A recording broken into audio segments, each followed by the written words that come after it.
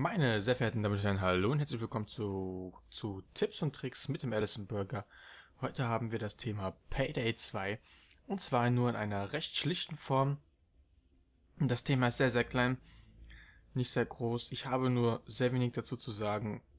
Also wenn wir da jetzt kein großes Schnickschnack-Video drum machen, tut mir furchtbar leid. Nächste Woche wird es da wieder was Größeres geben. Und zwar möchte ich euch heute nur kurz erklären zum Stealth Mode. So, und zwar habe ich hier mal eine kleine Stealth-Klasse erstellt, damit ich euch mal zeigen kann. Ja. Ähm. Ja, also wir können euch jetzt mal hier zeigen, wie ich an eurer Stelle eine Stealth-Klasse zusammenstellen würde. Und zwar würde ich an eurer Stelle den Bogen benutzen. Momentan habe ich nur diesen einen Bogen freigeschaltet. Ähm, man kann, soweit ich weiß, auch noch hier mehrere Bögen freischalten.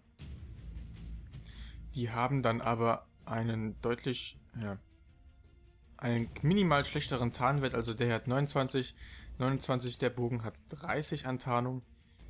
Ähm, die Bögen machen aber deutlich höheren Schaden, also da kann man sich überlegen, welche man reinmachen möchte. Das ist vollkommen egal. Das wäre dann schon mal zur Hauptwaffe. Die Hauptwaffe am Bogen, ich würde sowieso nicht viel rumballern in Stealth Mode, also scheißegal, da würde ich die Kruber Pistol reinmachen, also eine Tarnung von 30. Durch meine Modifikation nochmal zwei abgezogen. Also mal gucken, Waffe ansehen. Ja, ich habe einen Schalldämpfer drauf geballert. Also Schalldämpfer immer ganz wichtig.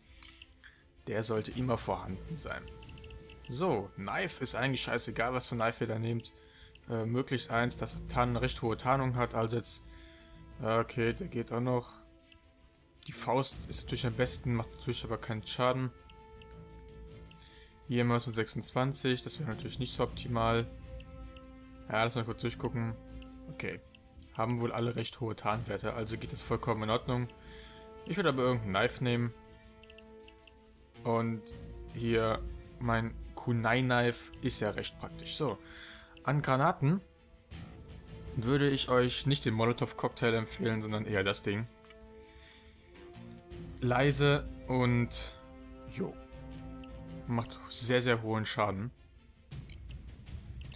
So. Als Klasse haben wir also Charakter ist natürlich scheißegal, was ihr habt. Maske eventuell auch. So, ECM würde ich auf jeden Fall äh, empfehlen, dass ihr auf ECM skillt. Ihr könnt natürlich auch die Mine mit reinnehmen, die ihr dann im Sensormodus benutzen könnt. Aber wenn ihr alleine spielt, den ECM mehr zu empfehlen. Zu zweit könnt ihr noch den zweiten Kumpel mit hier Mine ausrüsten. Natürlich keine Panzerung. Set. Ich habe hier, das mal hier Drahtzieher habe ich momentan drin. Ich würde euch aber empfehlen, auf den Geist zu skillen. Drahtzieher kann man machen. Ich bin jetzt, ich habe jetzt keine Stealth-Klasse zusammengestellt, sondern in Wirklichkeit, sondern ich bin halt momentan äh, in meinem Prestige auf ähm, ja, Kommando gegangen. Aber wenn ihr Stealth spielt, geht auf jeden Fall auf diesen äh, Baum hier und danach skillt ihr den hier mit der Mine. Dass man den hier ja, einfach platzieren kann, einen schnelleren Bohrer habt und bla bla bla. So, was haben wir hier? Ähm. Genau, hier könnt ihr am besten den Spion nehmen. Oder so in der Art hört sich das auf jeden Fall so an. Ja, dann müsst ihr mal gucken, was, was euch am besten gefällt. Einbrecher kann man auch nehmen. Was haben wir hier? Und hier, hier mal ein Crewboss noch mit drin. Also dann nehmt ihr am besten das, worauf, äh, worauf ihr euren Spielstil am besten anpassen könnt. Und jo, das macht keinen großen Unterschied mehr. Na, das war's schon. Jetzt habe ich euch mal kurz gezeigt, was ihr am besten mitnehmt, wenn ihr Stealth spielen wollt. Ich hoffe, ihr hattet kein Problem damit, dass es kein gro oh, großartig animiertes Video war. War auch jetzt, glaube ich, relativ kurz von nur 4, 3, 4 Minuten. Aber die Zeit hat eine Rolle gespielt und dann kam auch noch dazu, Thema war nur sehr klein, aber nächste Woche wird es wieder, ich sag mal, besser, größer, vorangehen mit The Elder Scrolls 5 Skyrim und da werde ich euch schon mal verraten, was ich da mache.